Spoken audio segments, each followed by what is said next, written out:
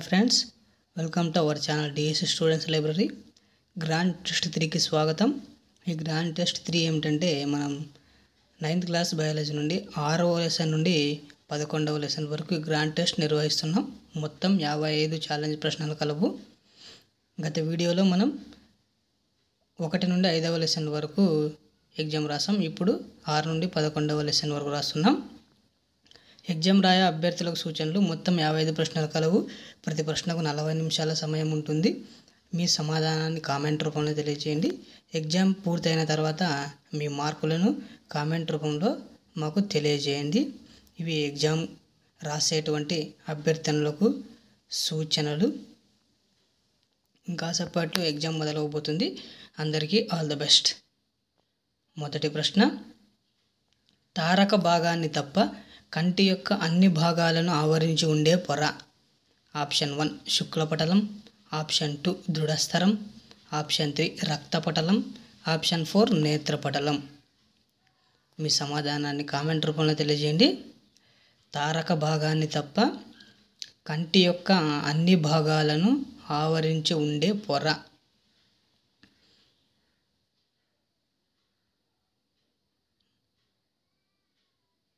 మొదటి మొదటి ప్రశ్నకు సమాధానాన్ని చూద్దాం.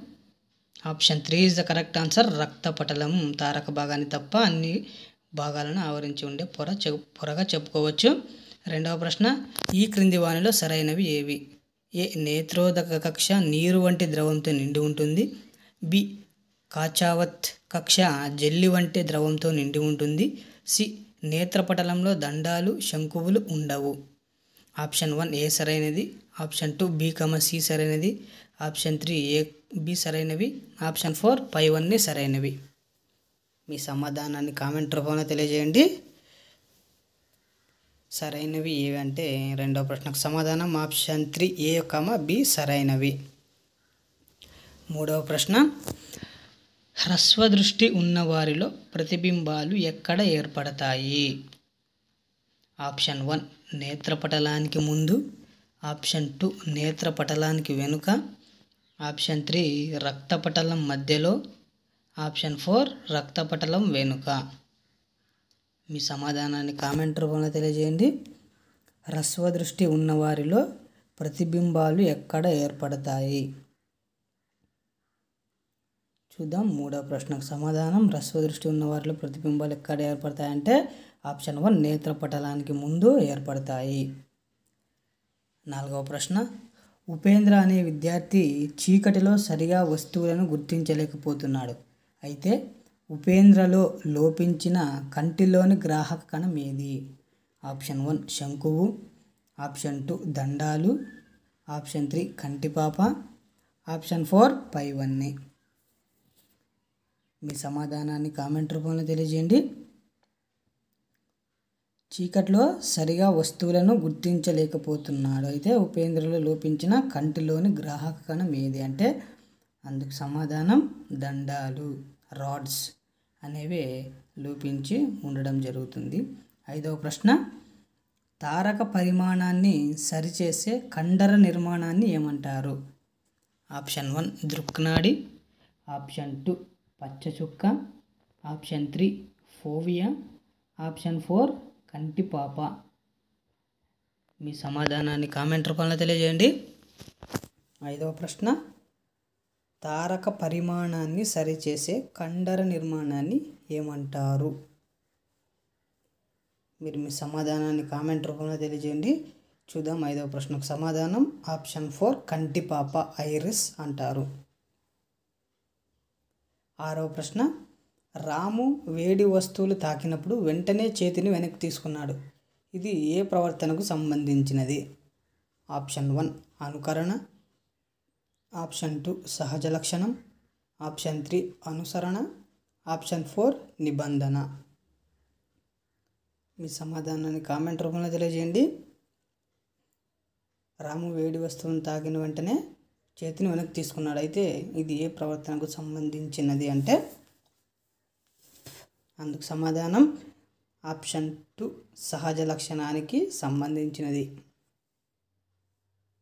ఏడవ ప్రశ్న పక్షులు గూడు కట్టుకోవడం రక్షణ కోసం సమూహాలు ఏర్పాటు చేసుకోవడం అనేది. ఆప్షన్ వన్ ఇంజనీరింగ్ పద్ధతి. ఆప్షన్ టూ సహజ ప్రవృత్తి. ఆప్షన్ ఫోర్ సోమరితనం. ఆప్షన్ ఫోర్ నిబంధన. ఆప్షన్ వన్ ఇంజనీరింగ్ పద్ధతి ఆప్షన్ టూ సహజ ప్రవృత్తి ఆప్షన్ త్రీ సోమరితనం ఆప్షన్ ఫోర్ నిబంధన. మీ సమాధానాన్ని కామెంట్ రూపంలో తెలియజేయండి.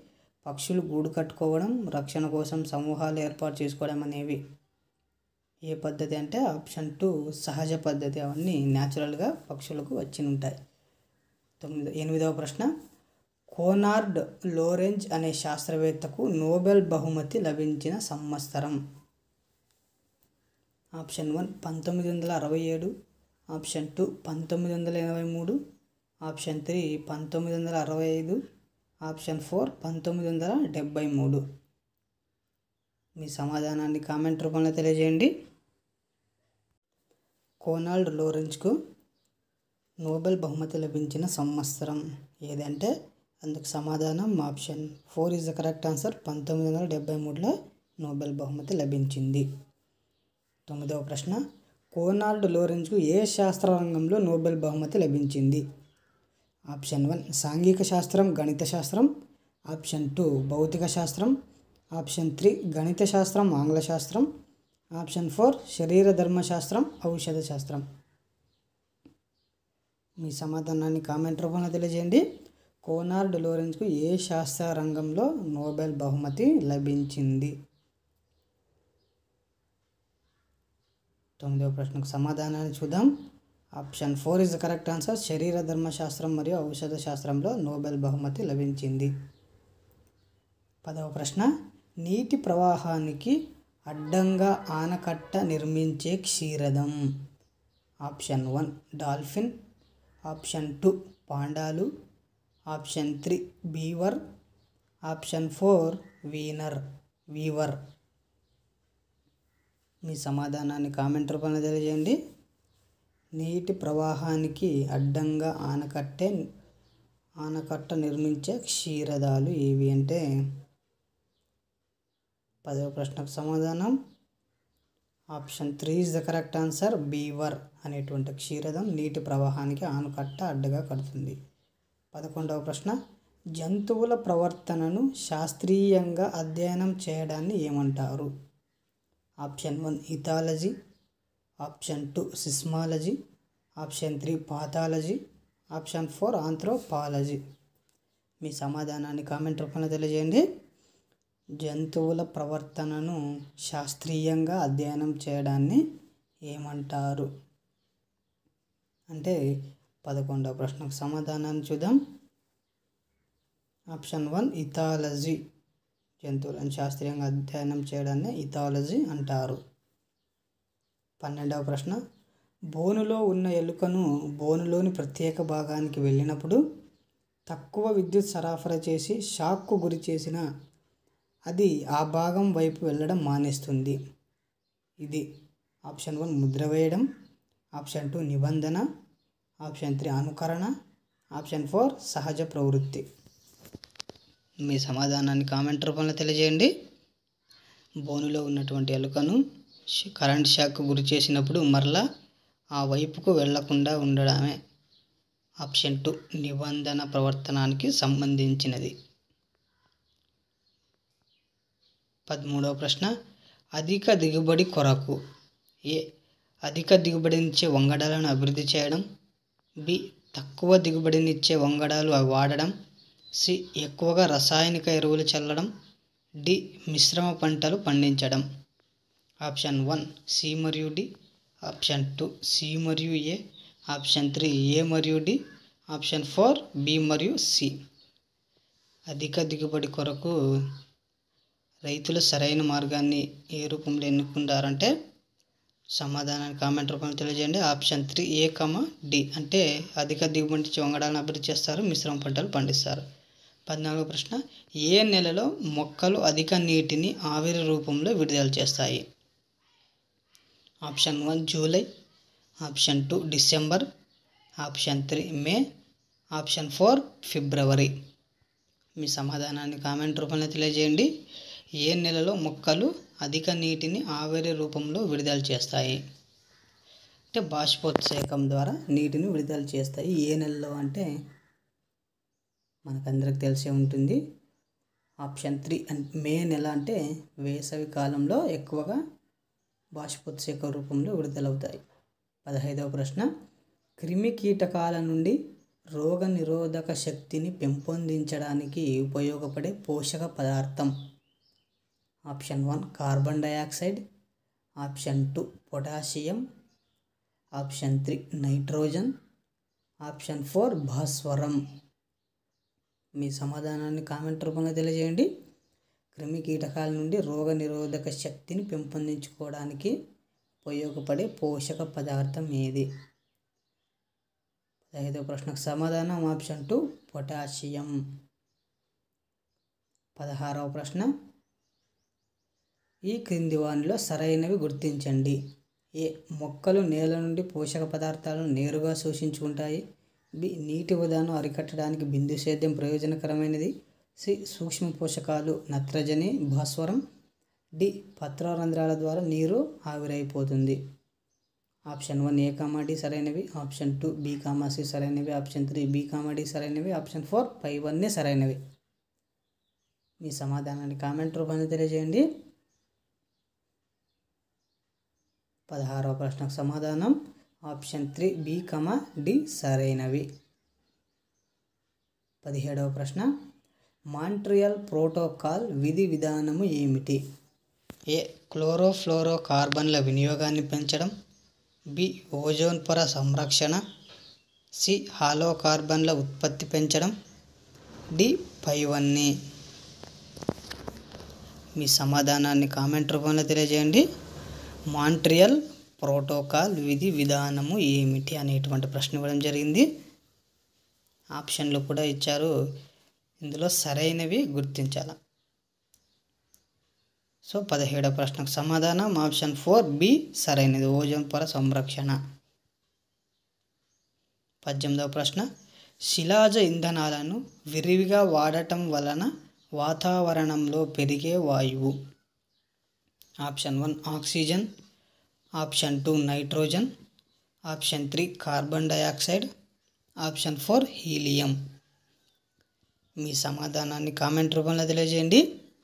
శిలాజ ఇంధనాలను విరివిగా వాడటం వలన వాతావరణంలో పెరిగే వాయువు.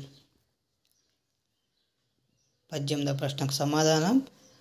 Option three is the correct answer. Carbon dioxide వాతావరణంలో ఎక్కువగా పెరుగుతుంది. పంతొమ్మిదవ ప్రశ్న.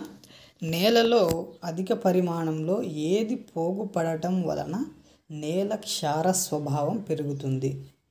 ఆప్షన్ వన్ రసాయనాలు. ఆప్షన్ టూ ఉత్ప్రేరకాలు. ఆప్షన్ త్రీ లవణాలు. ఆప్షన్ ఫోర్ మూలకాలు. మీ సమాధానాన్ని కామెంట్ రూపంలో తెలియజేయండి. నేలలో అధిక పరిమాణంలో ఏది పోగుపడటం వలన నేల క్షార స్వభావం పెరుగుతుంది అంటే అందుకు సమాధానం.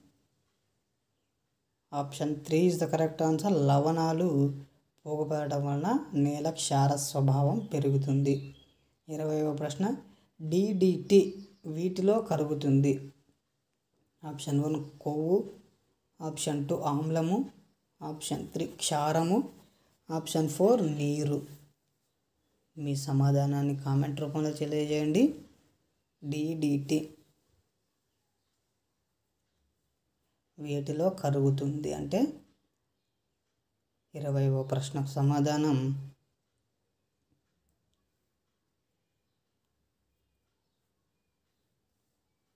Option one is the correct answer. కొవ్వులో మాత్రమే కరుగుతుంది. ఇరవై ఒకటవ ప్రశ్న. నేలలో కలిసిపోయే చెత్తకు ఉదాహరణ. Option one DDT. Option two గాజు. Option three plastic. Option four ఆకులు. నేలలో కలిసిపోయేవి మరియు నేలలో కలిసిపోనివి. పదార్థాలు ఉంటాయి. ఇచ్చినటువంటి ప్రశ్న ఏంటంటే నేలలో కలిసిపోయే చెత్తకు ఉదాహరణ. ఏది నేలలో కలిసిపోతుందంటే option four is the correct answer. ఆకులు అనేవి నేలలో కలిసిపోయే చెత్తకు ఉదాహరణ. ఇరవై రెండవ ప్రశ్న. నేలలో ముప్పై శాతం లేదా అంతకన్నా ఎక్కువ జీవ సంబంధ పదార్థాలను కలిగి ఉండేది? ఆప్షన్ వన్ జైవిక నేల. ఆప్షన్ టూ రాతి నేల. ఆప్షన్ త్రీ ఖనిజపరమైన నేల. ఆప్షన్ ఫోర్ ఇసుక నేల. మీ సమాధానాన్ని కామెంట్ రూపంలో తెలియజేయండి.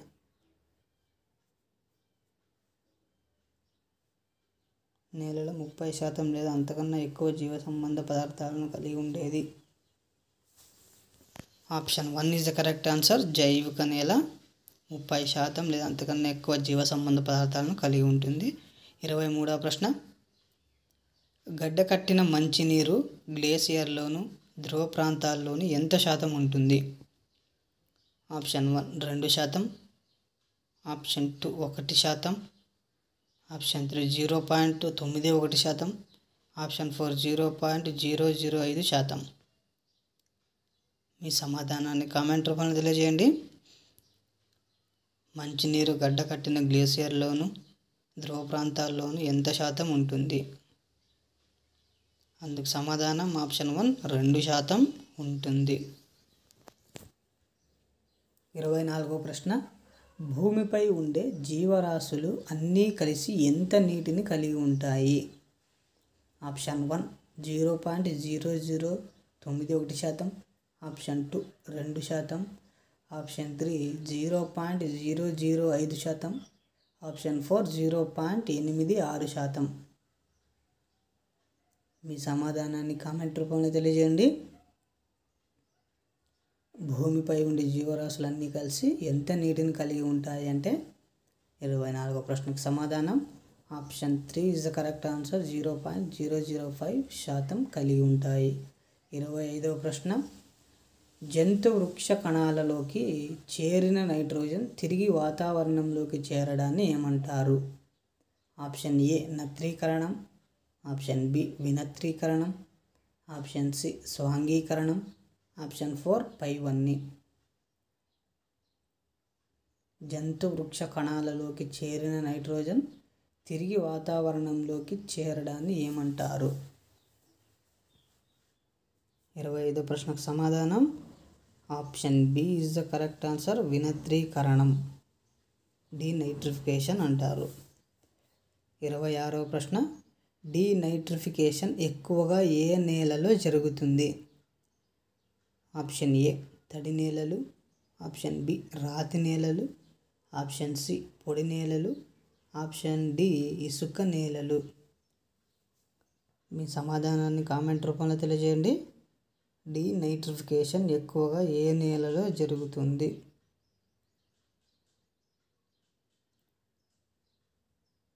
ఇరవై ఆరో ప్రశ్నకు సమాధానం. Option A is the correct answer. తడి నేలలలో ఎక్కువగా డ్రీనై డీనైట్రిఫికేషన్ జరుగుతుంది. ఇరవై ఏడవ ప్రశ్న. జీవ సంబంధిత పద్ధతుల ద్వారా కాలుష్య కారకాలను తొలగించడాన్ని ఏమంటారు? ఒకటి జైవిక సవరణీకరణ. రెండు ఇన్సిరేషన్ మూడు పైరాలసిస్. నాలుగు రెమిడియేషన్. ఏ మూడు బి రెండు సి నాలుగు డి ఒకటి. మీ సమాధానాన్ని కామెంట్ రూపంలో తెలియజేయండి. జీవ సంబంధిత పద్ధతుల ద్వారా కాలుష్య కారకాలను తొలగించడాన్ని ఏమంటారు? ఇరవై ఏడవ ప్రశ్నకు సమాధానం. ఆప్షన్ డి ఒకటి అంటే జైవిక సవరణీకరణ అంటారు. ఇరవై ఎనిమిదవ ప్రశ్న వాతావరణంలో అధిక మొత్తంలో ఉన్న మూలకం. Option one oxygen. Option two nitrogen. Option three argon. Option four carbon dioxide. మీ సమాధానాన్ని కామెంట్ రూపంలో తెలియజేయండి. వాతావరణంలో అధిక మొత్తంలో ఉన్న మూలకం.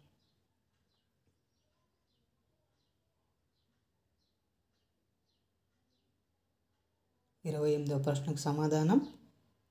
ఆప్షన్ టూ నైట్రోజన్ అనే మూలకం వాతావరణంలో ఎక్కువగా ఉంటుంది. ఇరవై తొమ్మిదవ ప్రశ్న ఆమ్ల వర్షాలకు కారణమయ్యే వాయువు. Option A hydrogen peroxide B hydrogen oxide C sulphur dioxide D పైవన్నీ. మీ సమాధానాన్ని కామెంట్ రూపంలో తెలియజేయండి. ఆమ్ల వర్షాలకు కారణమయ్యే వాయువు.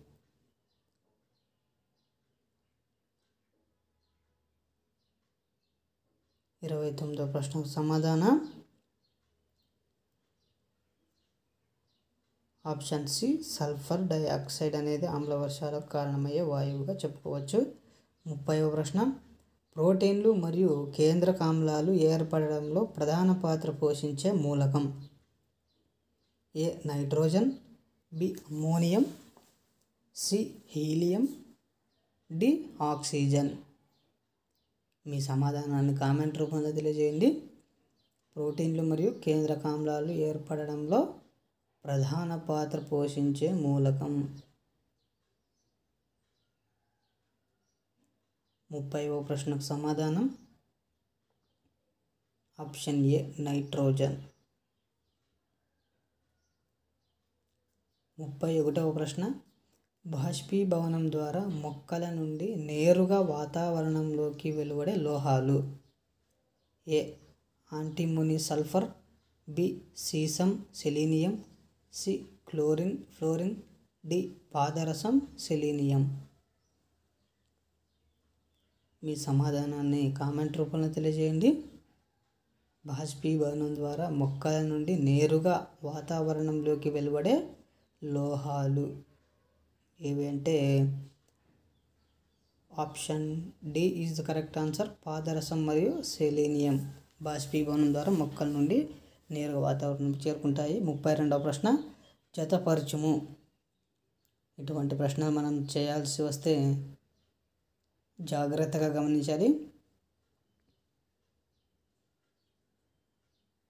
Option A D C B A option B C D B A option C B C D A option four C D A B మీ సమాధానాన్ని కామెంట్ రూపంలో తెలియజేయండి. సో ముప్పై రెండవ ప్రశ్నకు సమాధానాన్ని చూద్దాం. Option A is the correct answer? D C B A ముప్పై మూడవ ప్రశ్న. మానవ శరీరంలోని నీటి శాతం ఏ? అరవై శాతం బి తొంభై శాతం సి డెబ్భై శాతం డి వంద శాతం. మీ సమాధానాన్ని కామెంట్ రూపంలో తెలియజేయండి. మానవ శరీరంలోని నీటి శాతం.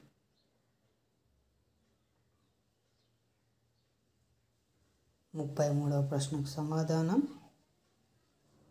Option C is the correct answer. డెబ్బై శాతం నీరు కలదు.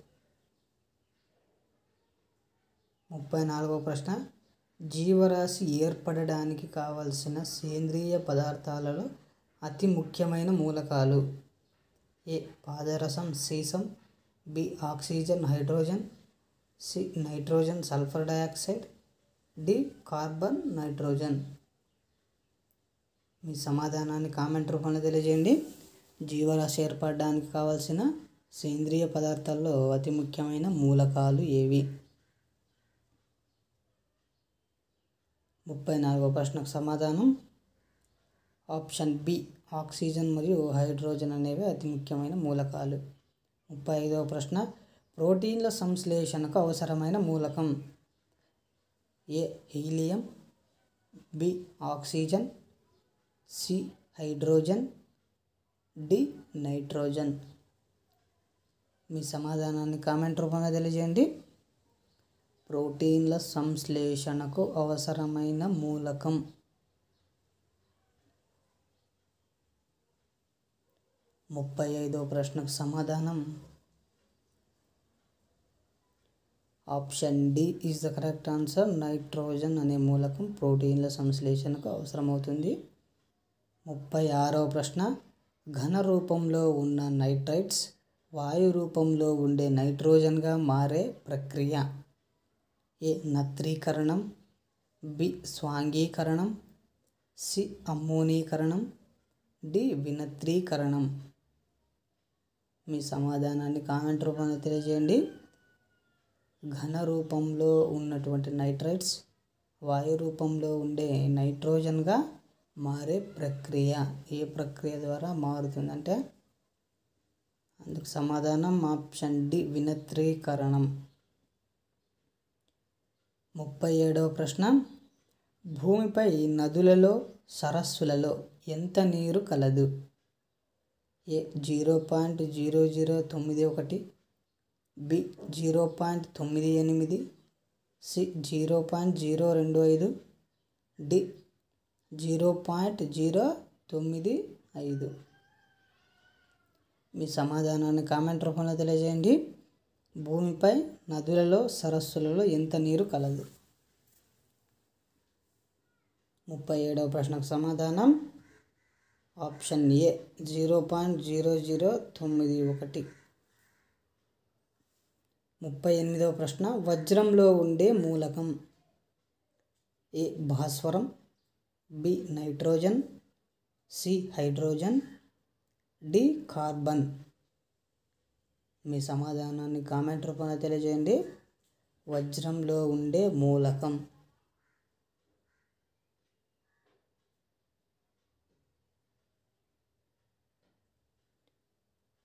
ముప్పై ఎనిమిదో ప్రశ్నకు సమాధానం.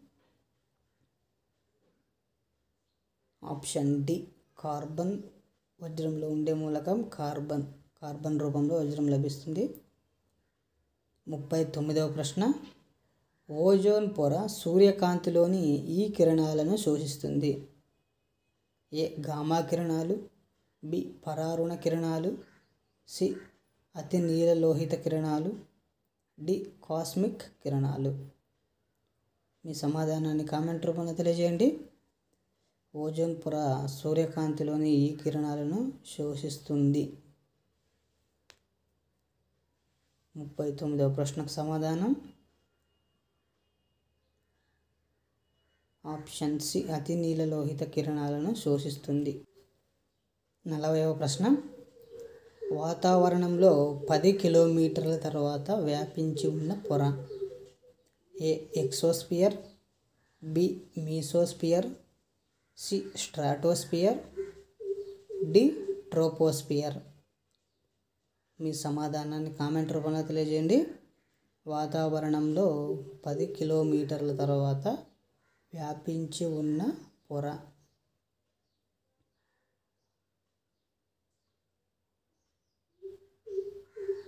నలభైవ ప్రశ్నకు సమాధానం. Option C stratosphere. నలభై ఒకటవ ప్రశ్న ఓజోన్ నందు ఆక్సిజన్ పరమాణువుల సంఖ్య. ఆప్షన్ ఏ మూడు బి రెండు సి ఐదు డి అనంతం. మీ సమాధానాన్ని కామెంట్ రూపంలో తెలియజేయండి. ఓజోన్ నందు ఆక్సిజన్ పరమాణువుల సంఖ్య.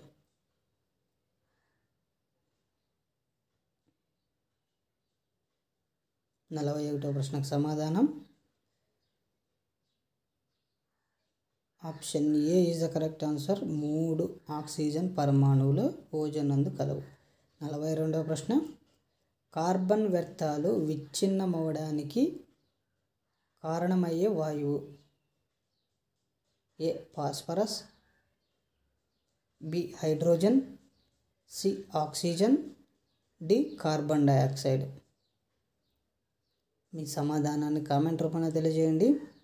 కార్బన్ వ్యర్థాలు విచ్ఛిన్నమవడానికి కారణమయ్యే వాయువు. నలభై రెండవ ప్రశ్నకు సమాధానం. Option C is the correct answer oxygen నలభై మూడవ ప్రశ్న. ఆక్సిజన్ విషంలా పనిచేసే జీవులకు ఉదాహరణ. A. Bacteria. B. Protozoa. C. వైరస్లు. డి. శైవలాలు. మీ సమాధానాన్ని కామెంట్ రూపంలో తెలియజేయండి. ఆక్సిజన్ విషంలా పనిచేసే జీవులకు ఉదాహరణ. నలభై మూడో ప్రశ్నకు సమాధానం. Option A is the correct answer. బ్యాక్టీరియాకు అనే జీవులకు ఆక్సిజన్ విషంలా పనిచేస్తుంది. నలభై నాలుగవ ప్రశ్న. ఓజోన్ అణువులు ఏ పొరనందు నిరంతరం ఏర్పడుతూ నాశనం చెందుతూ ఉంటాయి? A stratosphere B mesosphere C troposphere D exosphere. మీ సమాధానాన్ని కామెంట్ రూపంలో తెలియజేయండి. ఓజోన్ అణువులు ఏ పొరనందు నిరంతరం ఏర్పడుతూ నాశనం చెందుతూ ఉంటాయి? నలభై నాలుగవ ప్రశ్నకు సమాధానం. Option A is the correct answer. స్ట్రాటోస్పియర్లు నిరంతరం ఏర్పడుతూ నాశనం చెందుతూ ఉంటాయి. నలభై ఐదవ ప్రశ్న. అతి నీలలోహిత కిరణాలు మానవునిలో కలుగజేయు వ్యాధి. ఏ మధుమేహం. బి గుండె జబ్బులు సి చర్మ క్యాన్సర్ డి పైవన్నీ. మీ సమాధానాన్ని కామెంట్ రూపంలో తెలియజేయండి. అతి నీలలోహిత కిరణాలు మానవునిలో కలుగజేయు వ్యాధి.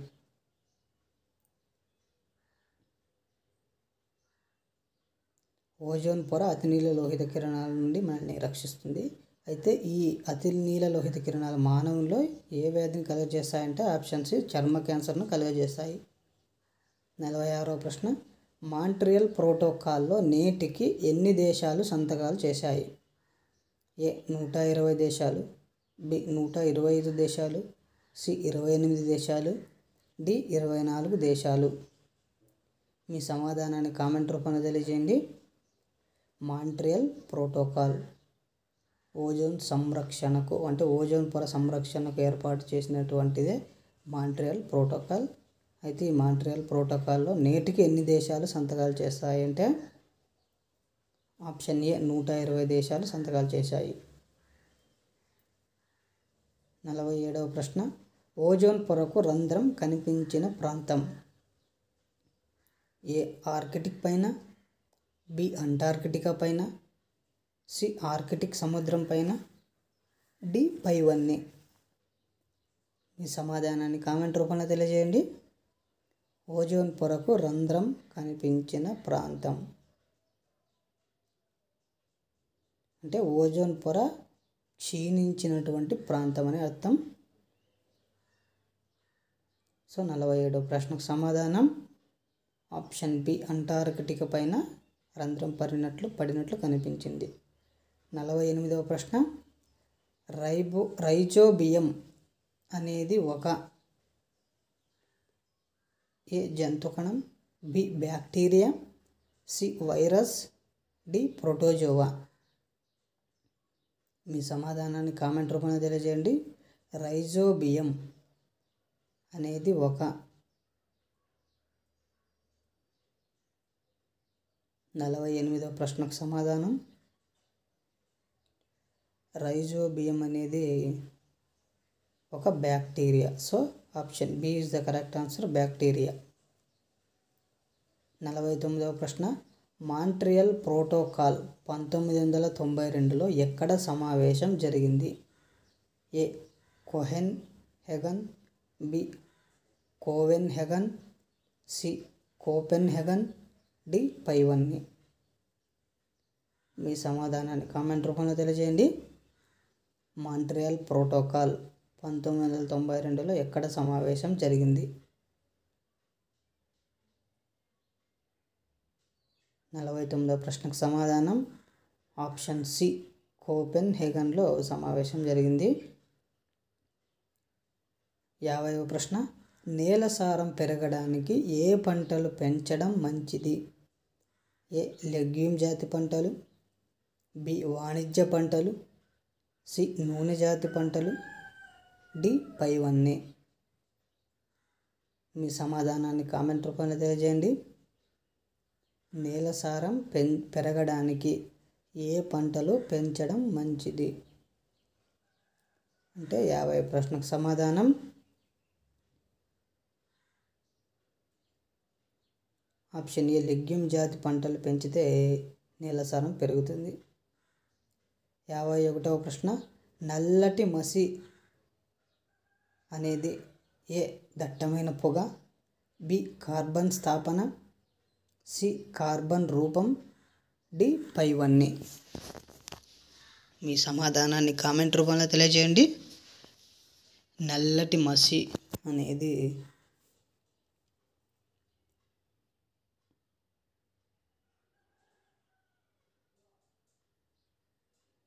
యాభై ఒకటో ప్రశ్నకు సమాధానం. Option C is the correct answer. Carbon రూపం అనేది నల్లటి మసి. యాభై రెండవ ప్రశ్న. శిలాజ ఇంధనాలను విరివిగా వాడ వాడటం వల్ల అధికమయ్యే వాయువు A? Sulphur B hydrogen C oxygen D carbon dioxide. మీ సమాధానాన్ని కామెంట్ రూపంలో తెలియజేయండి. శిలాజ ఇంధనాలను విరివిగా వాడటం వల్ల అధికమయ్యే వాయువు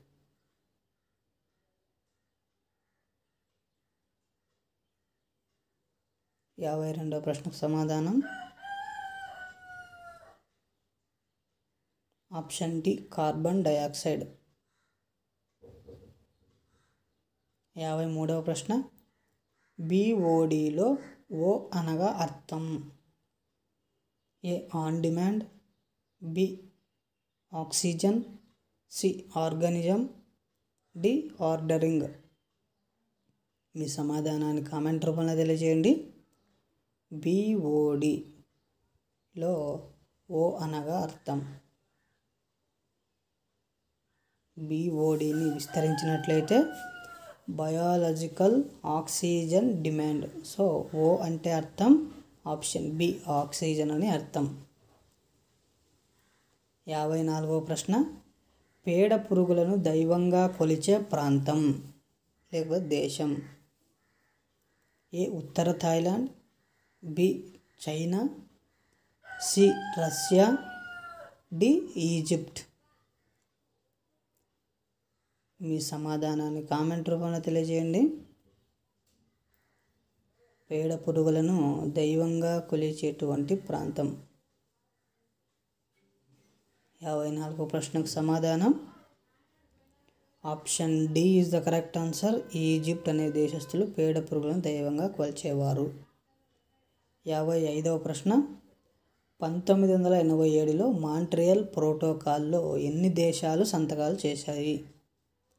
ఏ ఇరవై ఎనిమిది బి నూట ఐదు దేశాలు సి ఇరవై నాలుగు దేశాలు డి నూట పది దేశాలు. మీ సమాధానాన్ని కామెంట్ రూపంలో తెలియజేయండి. పంతొమ్మిది వందల ఎనభై ఏడులో మాంట్రియల్ ప్రోటోకాల్లో ఎన్ని దేశాలు సంతకాలు చేశాయి?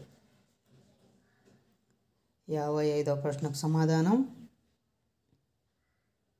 ఆప్షన్ సి ఇరవై నాలుగు దేశాలు పంతొమ్మిది వందల ఎనభై ఏడులో సంతకాలు చేశాయి. ఇది ఫ్రెండ్స్ ఇవాళ మనం నిర్వహించుకున్నటువంటి గ్రాండ్ టెస్ట్. తొమ్మిదవ తరగతి బయాలజీ నుండి ఆరు నుండి పదకొండు లెసన్ల వరకు మనం నిర్వహించుకున్నాం. దీంతో పాటు అంటే ఈ వీడియోతో మనం దాదాపుగా తొంభై ఐదు క్వశ్చన్లు తొమ్మిదవ తరగతి నుంచి నిర్వహించుకున్నాం. మీరు మీ మార్కులను కామెంట్ రూపంలో తెలియజేయండి. అదేవిధంగా మనం నెక్స్ట్ రాయబోయే ఎగ్జామ్ టాపిక్ అంటే నెక్స్ట్ గ్రాండ్ టెస్ట్ ఏదంటే పదవ తరగతి బయాలజీ నుండి మొదటి ఐదు లెసన్లు అంటే ఒకటి నుండి ఐదు లెసన్ల వరకు ఎగ్జామ్ నిర్వహించడం జరుగుతుంది. ఇదే విధంగా గ్రాండ్ టెస్ట్ అంటే మనం డిఎస్సి టెట్ తరహాలో కూడా క్వశ్చన్లు అనేవి ఇవ్వడం జరుగుతుంది. సో మీరందరూ కూడా కరెక్ట్ టైం టైం లిమిట్ పెట్టుకొని మీరు ఆన్సర్ చేసినట్లయితే టెట్ డిఎస్సిలో విజయం సాధించగలరు. నెక్స్ట్ రాయబోయే పదవ తరగతి ఒకటి నుండి ఐదవ లెసన్లు. Grand test four. రాయబోయే మిత్రులందరికీ కూడా all the best. Once again thanks. Exam రాసిన అభ్యర్థులకు గమనిక క్వశ్చన్ పేపర్లో ఏవైనా వ్యాకరణ దోషాలు ఉన్నట్లయితే అవి తెలియక జరిగిన తప్పిదాలు అని గమనించండి. Once again all the best మరియు థ్యాంక్స్.